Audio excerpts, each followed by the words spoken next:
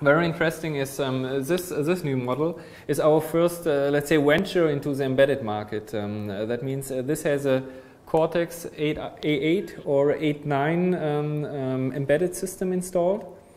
Um, uh, that means we offer now finally an embedded, system for, for our industrial customers. Important is for sure they want to have a WinCE solution, but we, we offer also a, a Linux version, or we, we, are going to do the Android. So, so this is right now just uh, uh, just uh, let's, let's see. No, okay, I shouldn't do it on the head. that's uh, that's right now a Windows uh, CE um, um, setting um, with um, what you see is standard Windows CE with a Cortex A8. And uh, what's the special thing is um, that, that we integrated in our existing case. That, that means uh, we have our existing case and now you can choose, okay, do you use a touch monitor? You, you want to have it embedded? It, it's, it's choose of the customer and, and uh, the, the embedded system has really all, all connections you want. So it has even a CAN bus, a CAN bus which is important for industrial solutions. It has um, um, a network connection, it has USB serial, and so it can really easily be integrated into machines. And that's, uh, that's for it.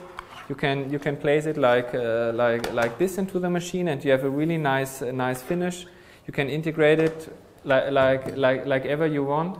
And, and, and so we offer now for, for industrial customers uh, um, uh, an embedded solution, easy to integrate, very, um, how to say, very easy to, to change to, to your existing application. That means we offer WinCE, we offer um, Linux, and, and so make it a, a, a new um, system for, for our industrial customers. Android? It's uh, Android is, is in the um, in the stage of development. Let's say we, we, we are more the, the typical i mean the hype is in the consumer world about android. Um, the typical industrial customer still using often windows ce or um, um, uh, linux. But I, from my side I, I totally agree. I think um, android will change the market. And i think also industrial applications will be soon programmed in android. Is this ti texas instruments or which chip do you use? Make it um, different or?